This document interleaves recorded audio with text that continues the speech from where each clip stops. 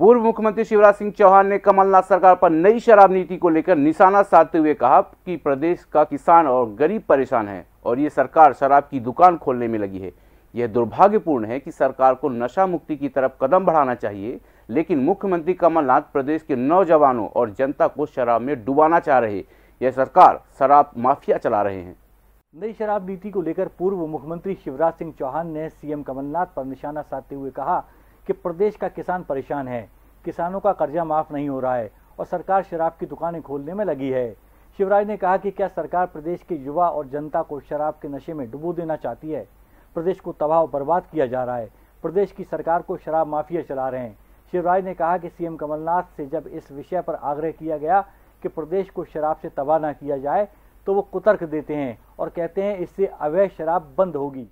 और इसमें जनता तो तबाह होगी, मोटा लेन देन भी हो रहा है। ये बर्बादी मध्य प्रदेश की नहीं होने देंगे, चाहे कितना भी लड़ना पड़े। मैंने मुख्यमंत्री जी को दो चिट्ठियाँ लिखी और आग्रह किया है, वो कुतर्क देते हैं। मैंने आग्रह किया कि नहीं, आप इस फैसले को वापस लीजिए। अब वो कहते हैं कि ज़्यादा दुकान खुलेगी तो अवैध बंद हो जाएगी तो मैं इनका घर पे भिजवाना शुरू कर दो तो फिर पूरी बंद हो जाएगी। ये कोई तर्क होता है क्या? क्या कर रहा है आबकारी अमला? काय के लिए बैठा ये। ये क्यों नहीं रोकता अवैध शराब की बिक्री? शिवराज ने कहा कि सरकार ना तो कन्यादान राशि दे रही है, ना ही बेरोजगारों को बेरोजगारी भत्ता दिया जा रहा है। किसान इस सरकार से परेशान हो चुका है।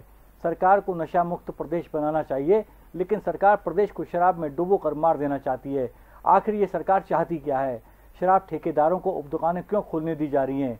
इसकी ज़रूरत क्या है? इसमें पैसे का लंबा लेन देन किया जा रहा है।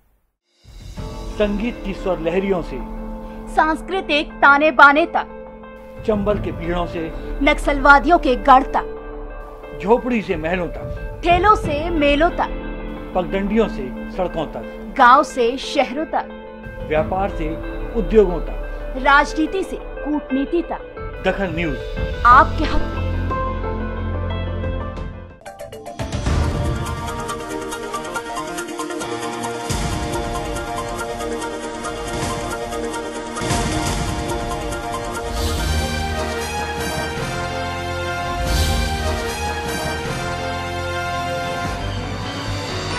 आप देख रहे हैं दखल न्यूज़। संगीत की स्वर लहरियों से सांस्कृतिक ताने बाने तक चंबल के पीड़ों से नक्सलवादियों के गढ़ तक झोपड़ी से महलों तक ठेलों से मेलों तक पगडंडियों से सड़कों तक गाँव से शहरों तक व्यापार से उद्योगों तक। राजनीति से कूटनीति तक। दखल न्यूज़। आपके हक